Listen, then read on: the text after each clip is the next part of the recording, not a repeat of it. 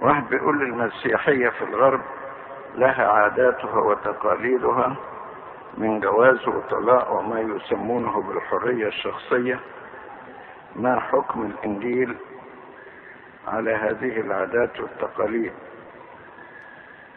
الإنجيل هو الإنجيل سواء للغرب أو للشرق.